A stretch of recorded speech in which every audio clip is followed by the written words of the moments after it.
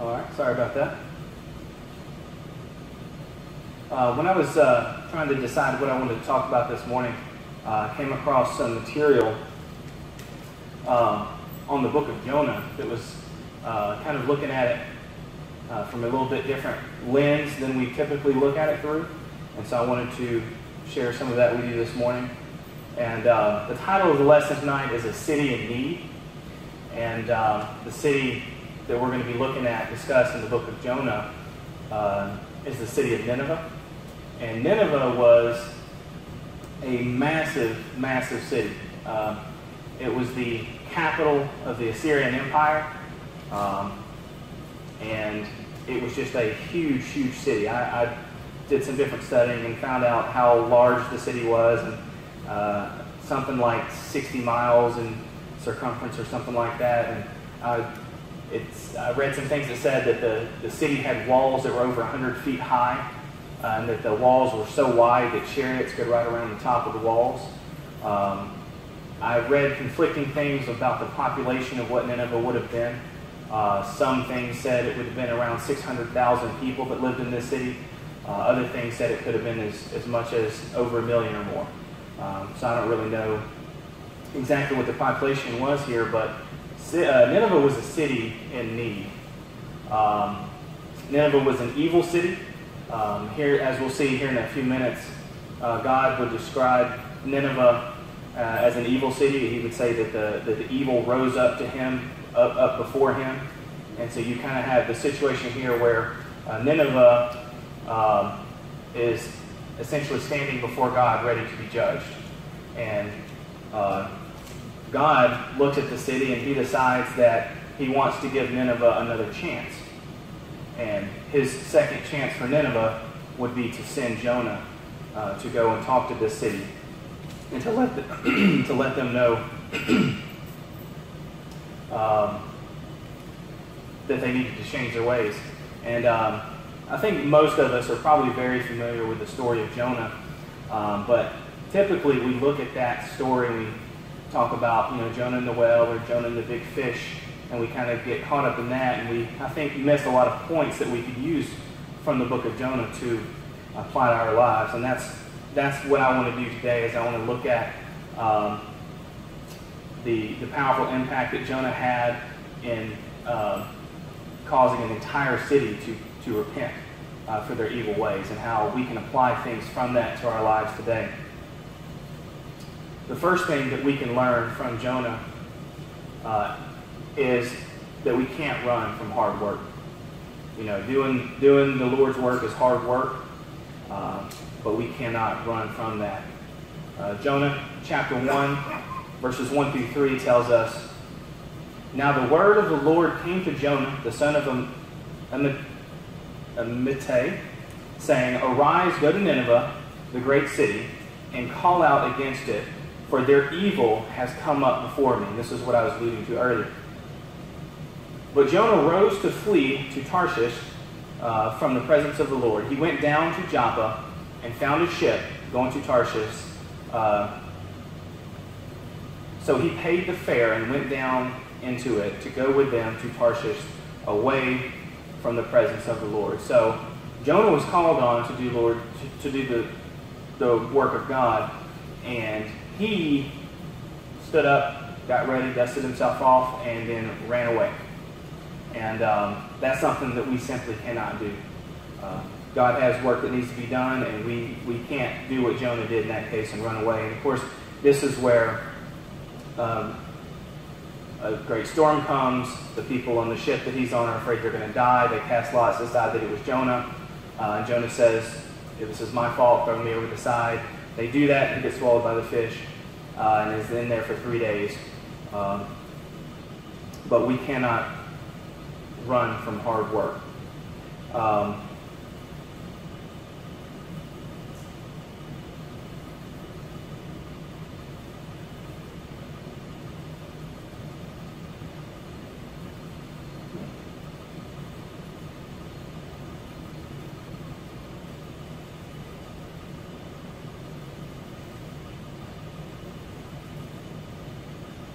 Sorry about that. Nope.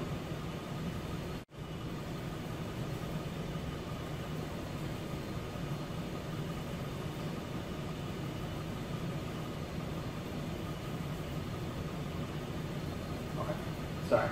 Um, like I was saying, it's not always easy to be a messenger of God's word. Uh, it could not have been easy for Jonah to have been told to go to Nineveh and to point out the fact that they were living in sin, the fact that they needed to change, otherwise they would be destroyed. So we've got a city on the edge of destruction, and Jonah being sent there to uh, to basically tell them that they are wrong and that they need to change. Uh, and it's not easy for us today to be a messenger of God's word. It's not easy for us to go and talk to the people that we know. It's not easy for us to go into our jobs and go throughout our daily lives and to um, to always do everything that, that we're called on to do, but but we have to stand up and we have to do the work that God puts in front of us, and we cannot run from it. The next thing that we can learn from this is that we must be confident and trust in God's signs.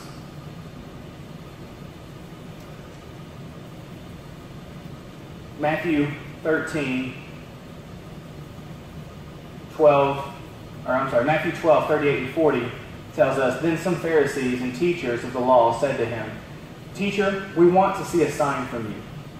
He answered, A wicked and adulterous generation asks for a sign, but none will be given it except for the sign of the prophet Jonah. For as Jonah was three days and three nights in the belly of a huge fish, so the Son of Man will be three days and three nights in the heart of the earth.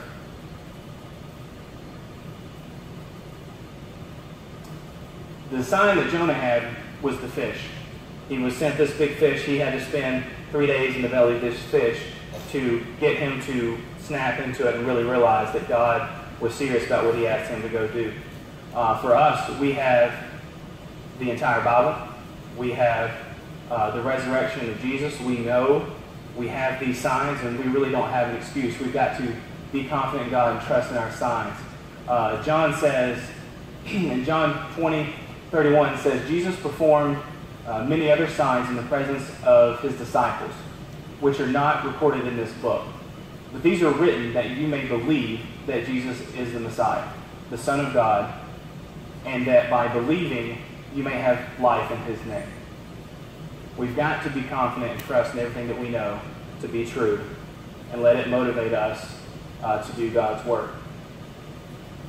We also learn from Jonah that we need to preach the word of God.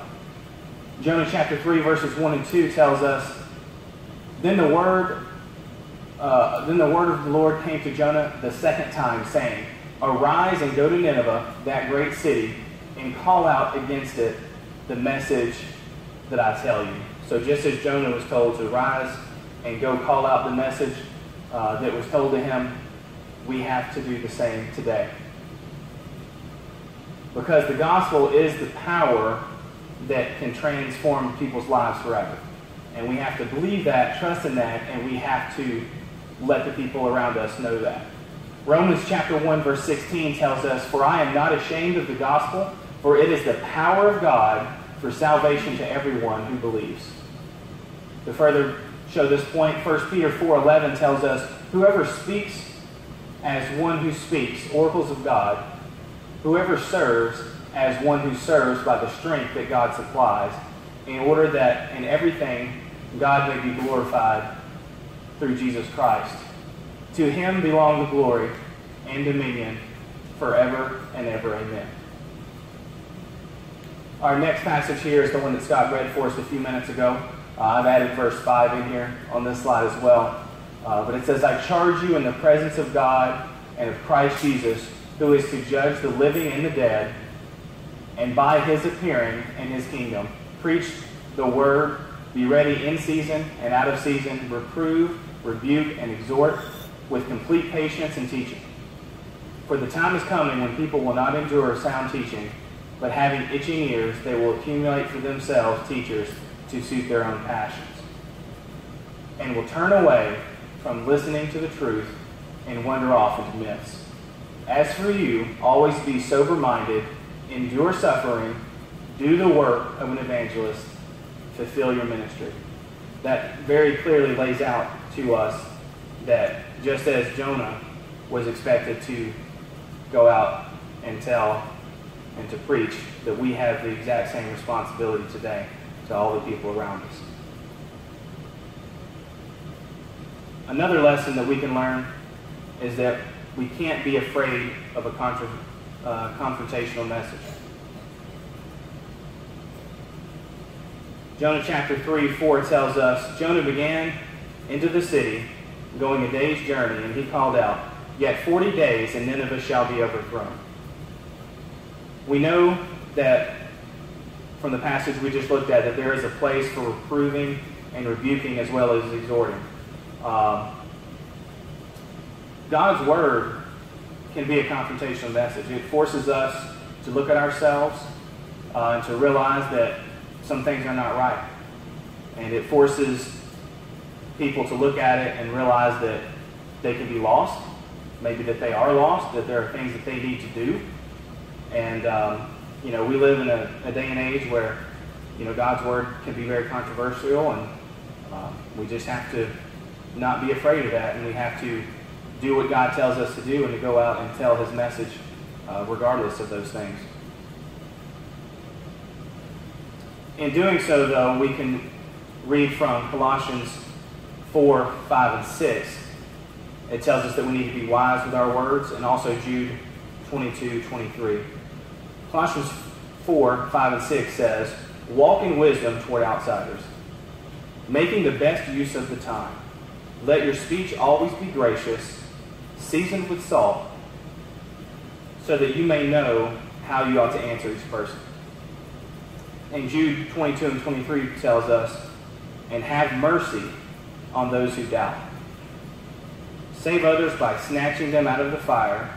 To others, show mercy with fear hating even the garment stained by the flesh.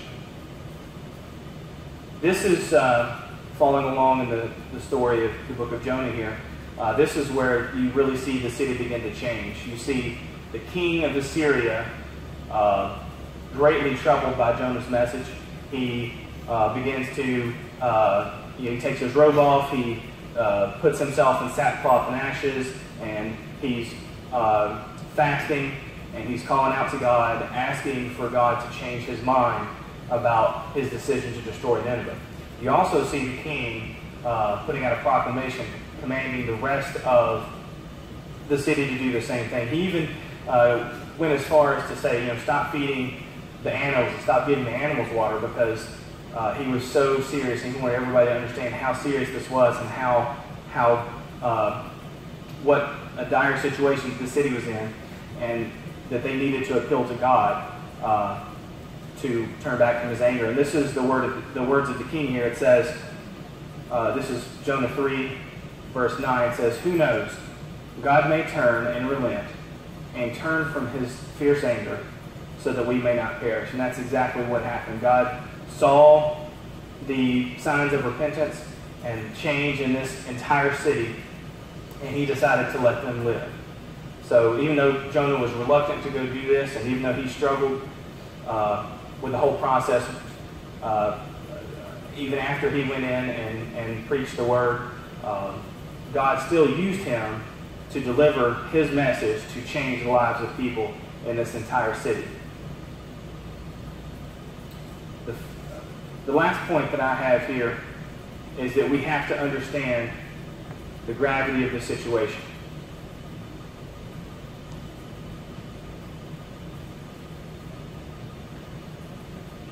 Colossians 4 5, which we've already read uh, 5 and 6 earlier, tells us that we must be wise with our time. Uh, God's only given us a certain amount of time here on this earth to, to carry out His will and to reach out to other people and tell them uh, what they need to know and how they, how they can be saved. And we must be wise with that time that He's given us. Luke 14, 23 tells us that we must compel people to listen. Um, I'll read that real quick. It says, And the master said to the servant, Go out to the highways and hedges and compel people to come in, that my house may be filled. You know, it's our job to go out and to compel people to come into God's house and to, um, to save souls. In 1 Corinthians 15 34, we learn that we need to realize our shame. And this is the one that really, really will kind of prick your heart here. 1 Corinthians 15:34 says, "Wake up from your drunken stupor, as is right, and do not go on sinning. For some have no knowledge of God. I say this to your shame." If if we continue to to live our lives without going out and letting other people know that God loves them and that, that there is a plan of salvation that they can be part of, then it's, it's our shame. It's on us if we continue to just sit idly by and not um, talk to the people that, that we love and talk to people that we don't know very well, just to, to get the message out and to let God's word do its work, just as it did in Nineveh. Uh, God wanted to give Nineveh a chance. He sent Jonah with a message, and that message made all the difference. And we have the gospel today that is the message that can make all the difference. And it's our job to, to be like Jonah, and not exactly like Jonah. You, you go through the book, he, he was not perfect at all. But to, to do what Jonah did and to be brave and stand up and, and speak for God. Because there are souls dying um, all around us, and too much time has already been wasted. Um, I think a lot of times in life we don't actually think about things in that way. We don't really have the right mindset or viewpoint on things. We don't really realize that when we go to work with the people that we work with, or we know that, but we don't think about it, that those people are lost and what that really means, especially if we just choose to not say anything or not do anything or to, to not be the examples that we should be uh, with the things that we say, with the things that we do, uh, and to let God work through us and to let God work through His Word and change the lives of people. See, Nineveh had a responsibility in this story. Nineveh's responsibility was to repent. They had to change. They were sinful, they were evil, and they needed to change. God's responsibility is always the same. His, he, he is the righteous judge. He's the, the justice judge, uh, the just judge, and it's his responsibility to judge. And he has to judge one way or another. Uh, Jonah's responsibility in this book was to attempt to change the great city of Nineveh. And because of all these three different things happening, uh, a massive city with hundreds of thousands of people made a massive change. And we as uh, Christians have the same responsibility today. We have a responsibility to seek and save the lost. We have a responsibility to live our lives in a way that is an example to others. We have a responsibility to, to stand up and speak for God. And um, it's you know just something that we all need to think about for ourselves. Are we really doing that? Are we not? Um, I know I'm not always, and that's why I need a, a lesson like this as well. Um, as much as the focus on this lesson has been on reaching outside of this building and reaching the lost, uh, it's just as important that we take care of each other in this in this building. Uh, you know, if if there's anyone who has a need, if there's anyone who is struggling in your life, let us know about it. Uh, we have to be here for each other. We have to be the the Christian brothers and sisters that, that we say that we are, that we can go to one another and talk to each other about things and to, to help each other. Uh, if there's any of you that, that needs prayers for anything going on in your life, if there's any of you here this morning that haven't uh, done what you need to do to be saved, um, we would ask that you uh, let us talk to you more about that and to let us um, help you in any way that we can to make sure that you uh, do get saved and that you can um, have the hope of living in heaven forever. Uh, if you would, please come and uh, come down to the front row if, if, if, you fit any of those categories, and we will um, help you out as we stand and sing this song.